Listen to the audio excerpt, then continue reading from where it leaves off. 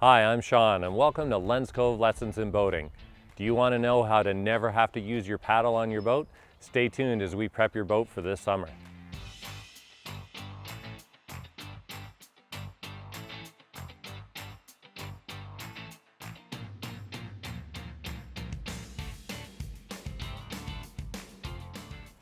Prepping your boat for the season is one of the most important actions you can do. You want to make sure you have safe, fun, and a low cost beginning of your boating season.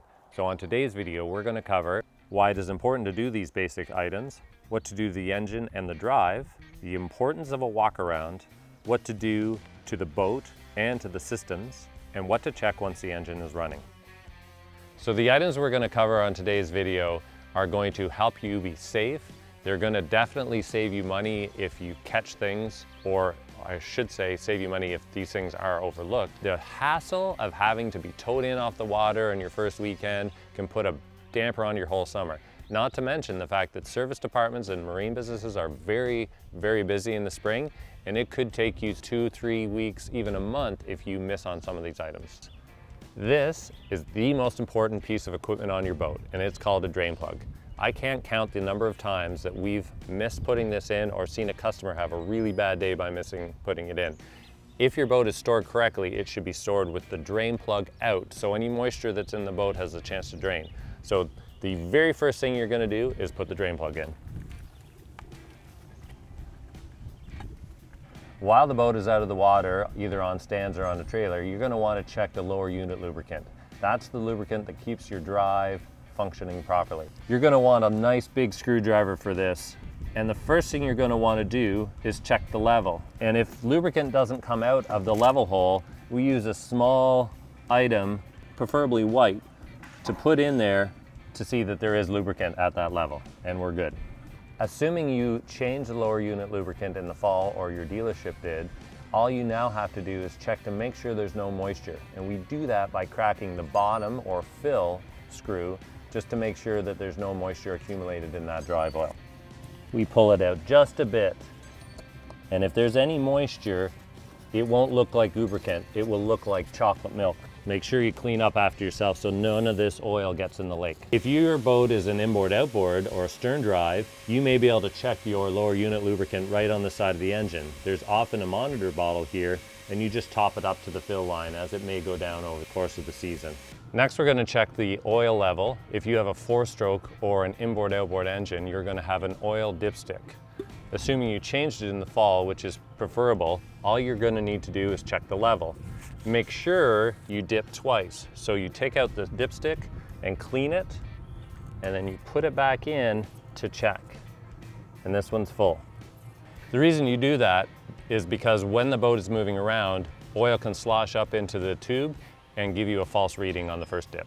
Once the hot weather is here and you want to go boating, you're not likely going to keep a close eye on things in your boat. It's the perfect time for you to check for things that may be damaged on board the boat. Take a good look at the exterior, look at all your fittings, your cleats, your gas fill. Make sure nothing looks loose.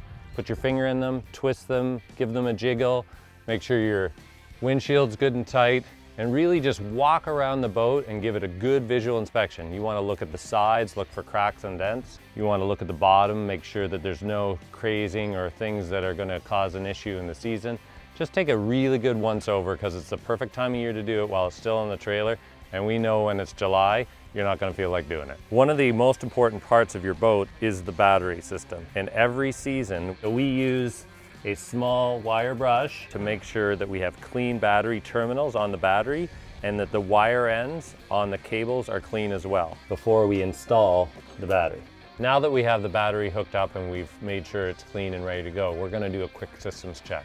The things that are the most important, of course we want our stereo to work, but ultimately we wanna make sure our navigation lights work, we wanna make sure our bilge pump is functioning, and we wanna make sure the horn and all the safety gear is, is working properly and the engine's gonna start and steer. So usually what I do is I'd start it up, make sure it's gonna run fine, make sure that it's pumping water. If you see that telltale of water coming out, you'll know that the uh, impeller is good and you're pumping good water. Check the steering, make sure it's going to be smooth and that there's no hang-ups or rough spots.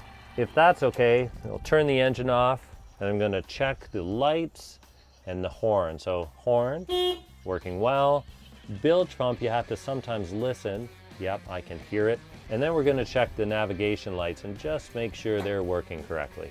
While the engine's running, we wanna check our emergency kill switch and make sure it kills the engine. The other thing we're gonna wanna check is the power trim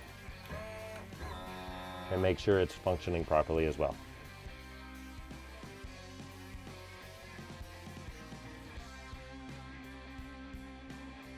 Hopefully you now feel like you're ready to get out on the water safely and have fun on your first day.